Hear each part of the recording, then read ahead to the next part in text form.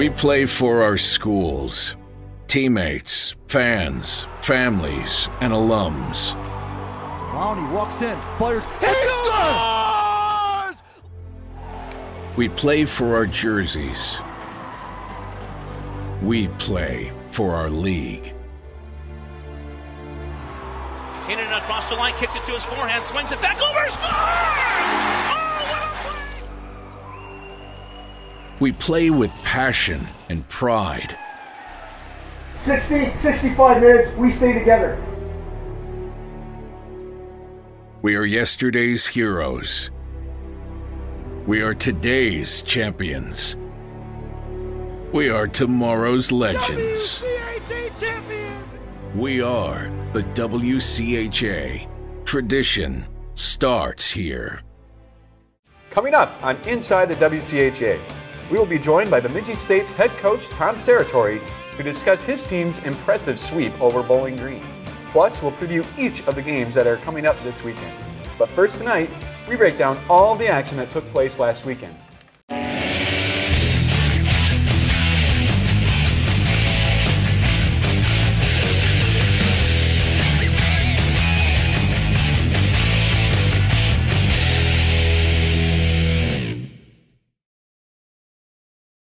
We welcome you inside this episode of Inside the WCHA. I'm your host, Ryan Kassenschmidt, joined by my co host, Andrew Jelkin. Thanks, Ryan. It's great to be here again tonight.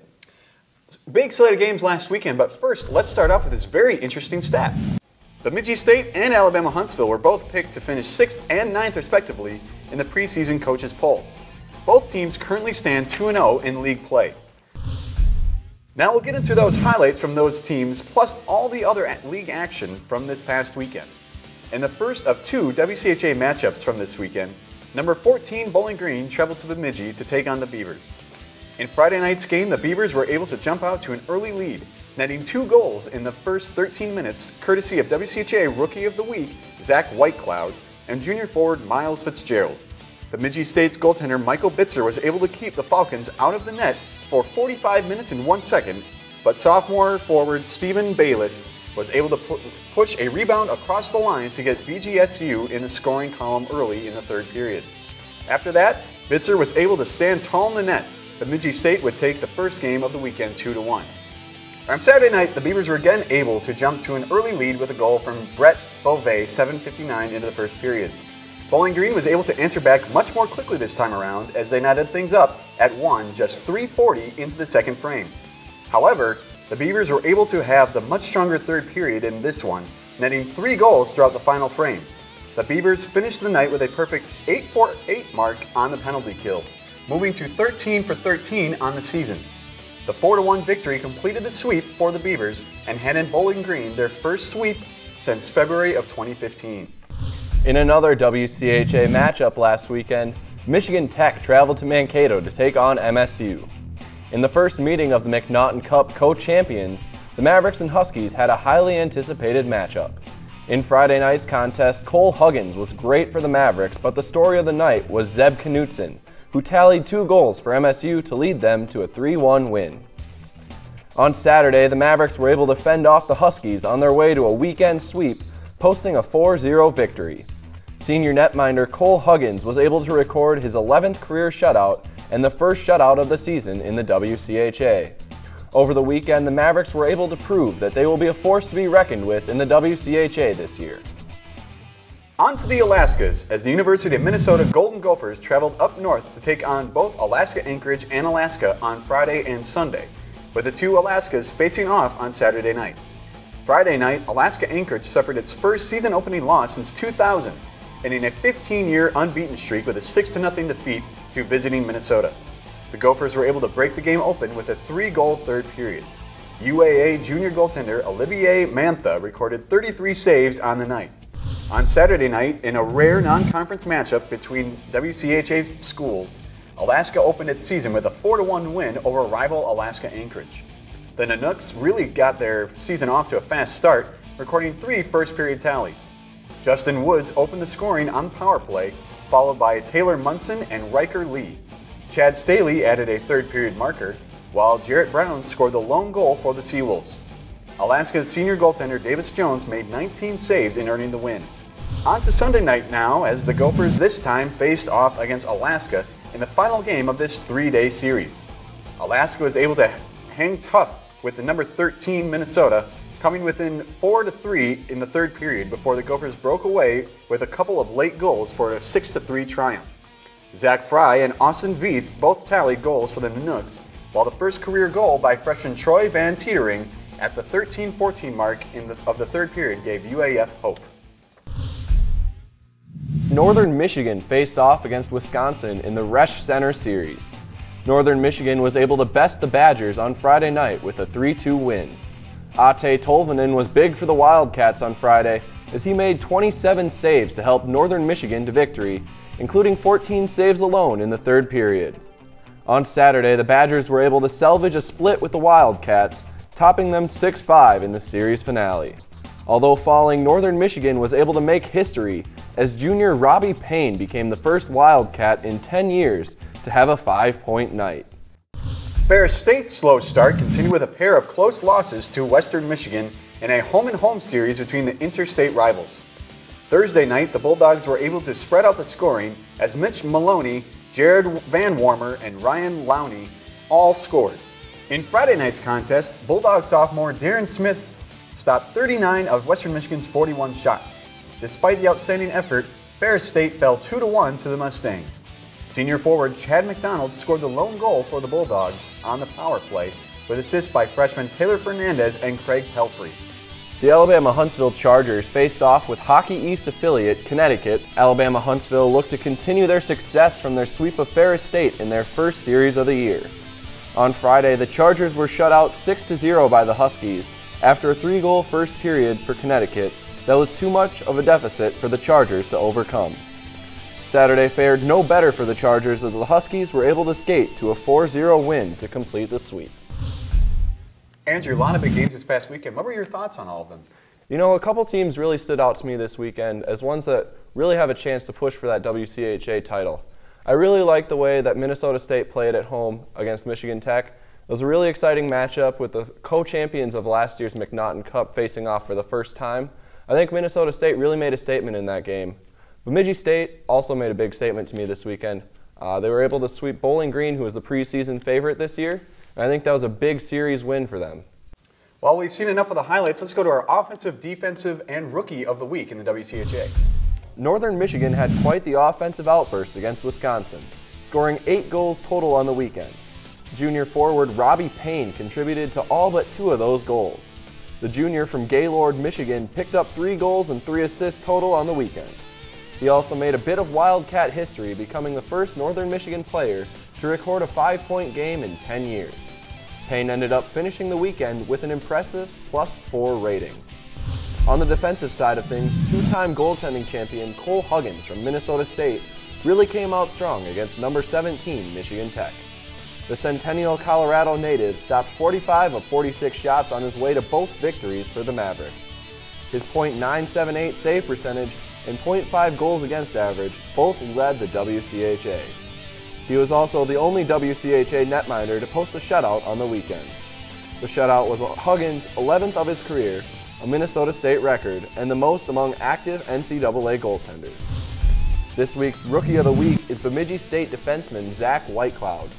Playing on the Beavers' top power play unit, the freshman from Brandon, Manitoba scored BSU's first goal of the 2016-2017 campaign at the 6.15 mark of the first period Friday. Saturday, he earned an assist on the man advantage for Bemidji State's final goal in their 4-1 victory. Whitecloud finished the weekend with four blocked shots, helping BSU hold the Falcons to only two goals. Thanks very much, Andrew. Coming up after the break, we are joined by Bemidji State's head coach Tom Serratore. We'll ask him about his team's big sweep over Bowling Green this past weekend. Plus, later on in the show, we'll give you a preview of all the WCHA action that's headed your way this weekend. Shoots and it goes out. They posted a score. Cats with a shorty and a 1 1 tie. Inside the WCHA is brought to you by BLC Studios, a division of Bethany Lutheran College. For more information, visit blc.edu. College hockey fans, you can now watch every game, every night from your own home. From Anchorage to Alabama, Big Rapids to Bowling Green, and all points in between. All your favorite teams live on WCHA TV. Affordable season, monthly, and game day passes are available. Sign up today and don't miss a thing. Join us at WCHA.tv. Welcome back to Inside the WCHA. I'm joined now by Coach Tom Serratore of the Bemidji State Beavers. Great to have you on today, Coach. Glad to be on with you.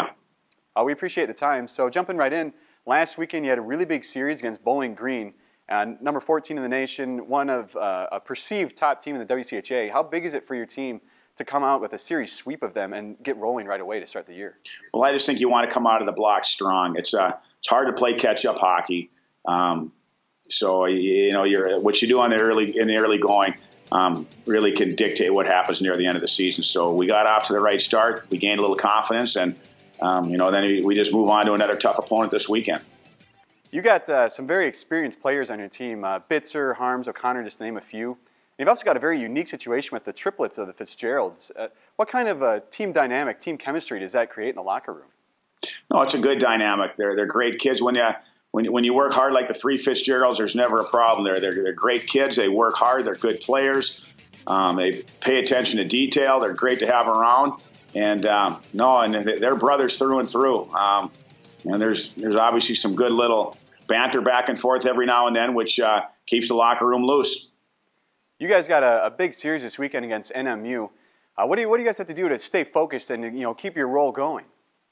Well, I mean, you, the bottom line is worry about a couple things that you can control: how hard you work and how smart you work. And uh, you know, we're, we're healthy. We, we we gained some confidence last week. Um, they won. They won a big game. They had a great series with the Wisconsin. So no, every weekend brings different challenges. So um, every every weekend is challenging in the WCHA. Uh, any given day, anybody can beat anybody. So we realize that it doesn't matter who you're playing. So you better be prepared. Finally, coach, the overriding theme of every season is always to bring home the McNaughton Cup and a WCHA tournament championship. What do you guys need to keep doing in order to get that, as well as improve upon as the season goes on? It's only October, but you got a long ways to go. Well, exactly. We don't want to get too premature, and uh, again, just you know, obviously the only thing you can worry about is today, and that's what we're trying to control is worry about today. And uh, but you have to have goaltending.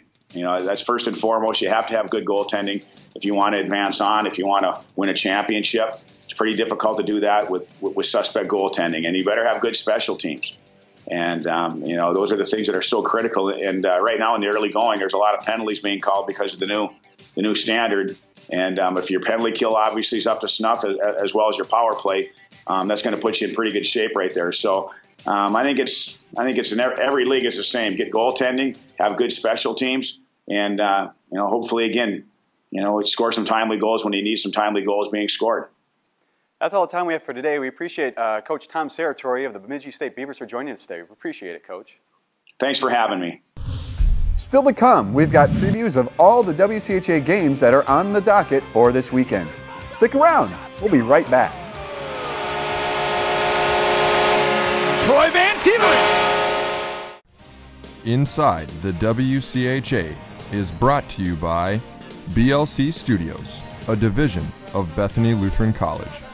For more information, visit blc.edu. College hockey fans, you can now watch every game, every night from your own home. From Anchorage to Alabama, Big Rapids to Bowling Green, and all points in between. All your favorite teams live on WCHA TV.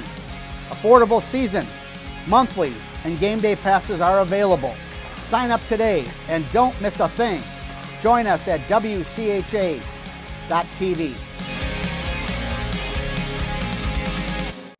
Welcome back to Inside the WCHA. So far, we've gone through some of last weekend's highlights, looked at some of the scores there. We've also interviewed Bemidji State's head coach, Tom Serratore. So now, let's take a look at some of the upcoming games for this weekend. Michigan Tech and Alabama Huntsville are both looking to rebound this weekend. They will face off in Houghton starting Friday night.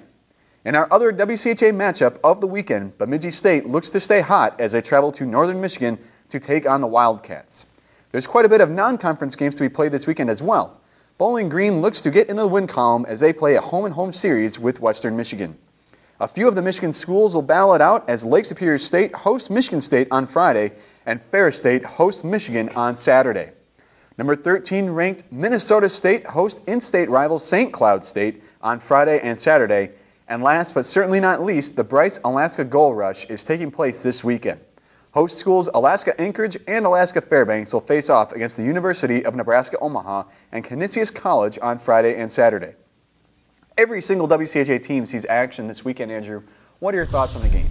Ryan, I think that this weekend is going to be really interesting for Michigan Tech as they take on Alabama Huntsville. It'll be interesting to see if the Chargers can continue that success that they had in the first series of the year against Ferris State, but it'll also be nice to see if Michigan Tech can get in the win column for the first time this year.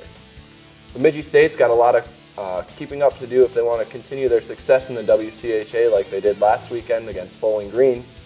And there's a lot of non-conference matchups this weekend that look to be really exciting. Hopefully the WCHA will fare well in all of those. Andrew, you know, we always appreciate your analysis. That's all the time we have for today's edition of Inside the WCHA. For highlights, news, and inside scoops, please join us on the next edition of Inside the WCHA. I'm Ryan Kassenschmidt. He's Andrew Jelkin. Thanks for joining us and have a great night.